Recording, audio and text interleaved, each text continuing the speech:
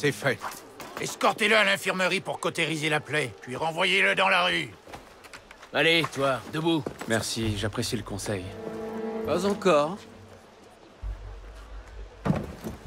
Qui êtes-vous, au juste? Et pourquoi m'aidez-vous? Cela fait quelque temps que je t'ai à l'œil, Arnaud. Je considère qu'il est de